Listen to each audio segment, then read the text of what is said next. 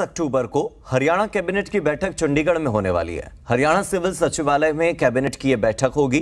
दोपहर 12 बजे का समय तय हो चुका है, दोपहर 12 बजे।